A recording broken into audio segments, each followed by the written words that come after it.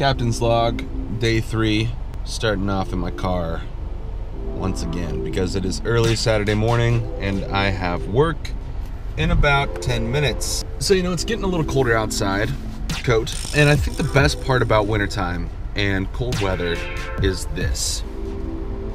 Cranking that heat up in the car and make my car a little egg of warmth. I just don't want to leave. Bye, egg of warmth. A few moments later. So I'm just now getting off work, and uh, look who came to visit me, Gary. Oh oh, hey, listen. I would I would go anywhere for good juice and for Parliament Media Collective topics. So I am honored to be on Jared's vlog today. Oh my gosh, look at that. Happy Vlogmas. So Gary got me something for Parliament Media Collective. I don't know what it is, but we're gonna find out here in just a second. I don't know. Well, it's here. I have been trying to feature research find social enterprises for the last couple years. I meet Jared. Jared is putting such amazing things out into the world, and one of the social enterprises I found is called Clothing by Owl.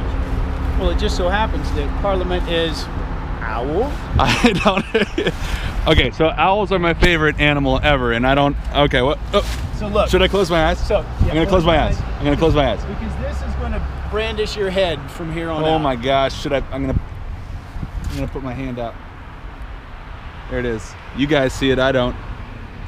I love it. And that is Clothing by Owl. And these great people started this because they give part of their proceeds to save owls. Oh okay? my gosh. So here you are starting Parliament Media Collective and you are bringing artists together and you're doing great things in the world and you're putting the message out there that if we just create relationships and we do all of this together, there's nothing we cannot do. And so when you put that on your head, your brain, it's like the Grinch who stole Christmas. Your brain will grow five times that day. Hang on. Ah!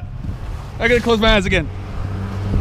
And there's one Oh, for ah! hypothetically speaking, if there's a lady in your life and she looks good in light blue, as all ladies do. Oh my goodness.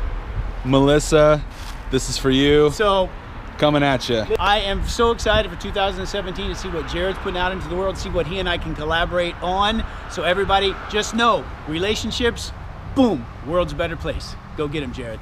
Boom, boom. You heard it from Gary himself. From Gary himself. Oh! So that was my friend, Gary Hurt, who is just an amazing guy. Now, a little bit of information about Gary. He is a brand ambassador from California who goes around to companies uh, who are doing a lot of good out in the world, and he helps those businesses and companies relay that message of philanthropy and goodness globally, really. And so he's just a, a stand up guy. So, Gary, thank you for the hat. I love it and I appreciate it, and I appreciate you.